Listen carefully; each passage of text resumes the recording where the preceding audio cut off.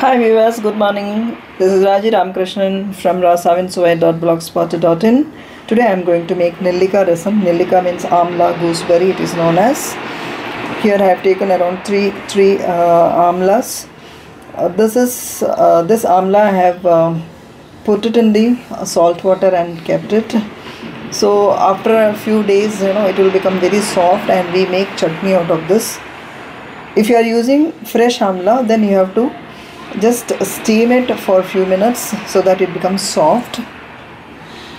And I have taken around 3 garlic cloves and one small piece of ginger a small piece of uh, green chili pudina and coriander leaves and one tomato kokum around 4 petals jaggery 1 teaspoon. And for the tempering I have taken um, one red chili um, mustard seeds, cumin seeds, chana dal and um, black pepper.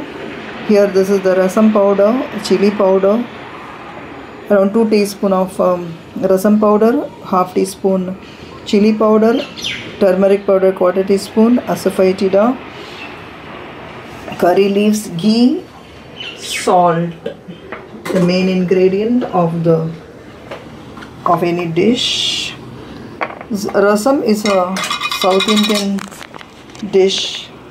You can serve it as a soup also.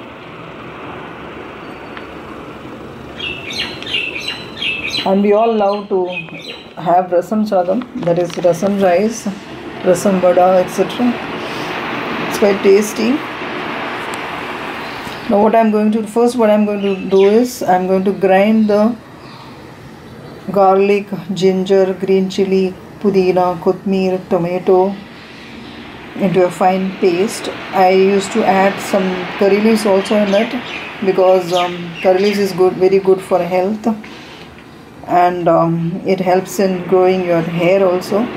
So I always add curry leaves in the dish wherever possible. I used to grind and put it or I used to put the curry leaves powder in it because we tend to throw the curry leaves if you are putting the whole curry leaves in the dish.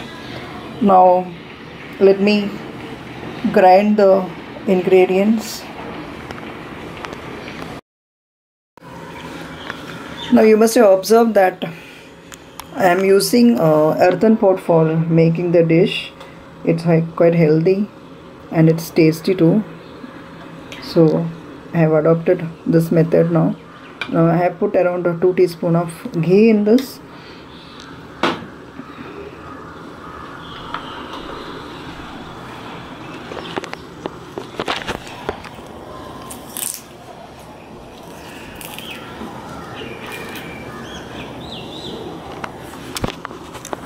It's very hot. I'll put the curry leaves in it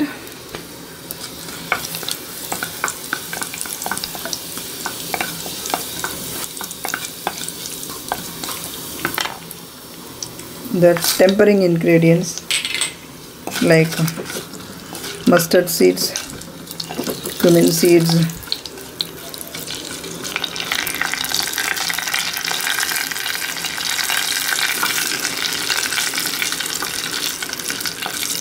black pepper etc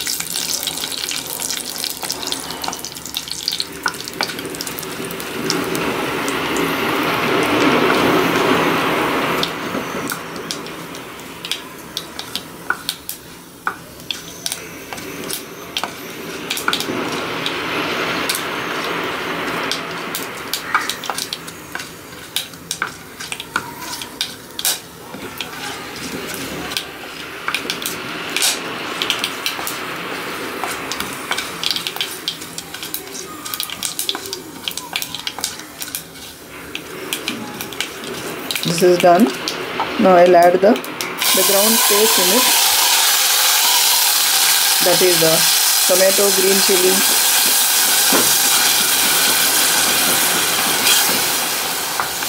Coriander pudina. Garlic ginger etc now let us saute this for few minutes I have sauteed this well now. I am going to add the amlas in it.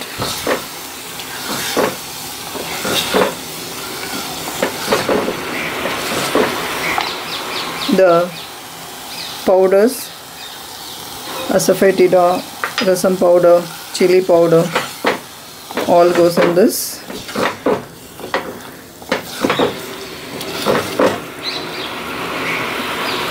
the kokum petals jaggery.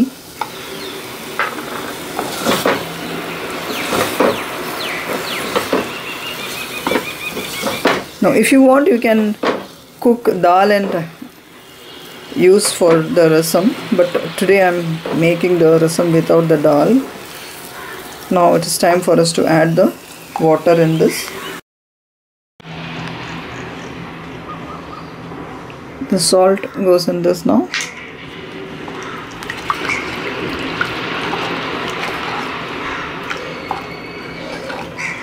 Now keep the flame low for simmering this for some time.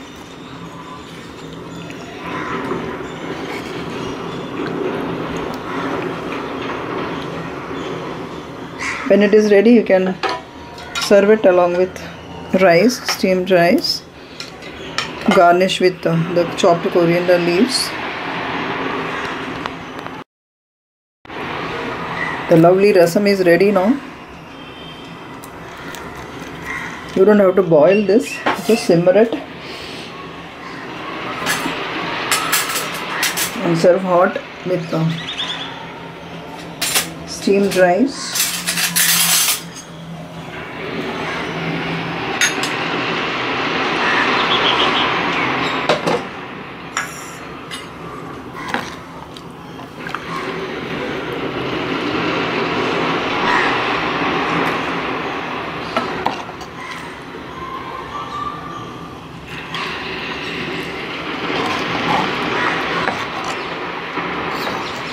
you want you can put the whole uh, avla also in this.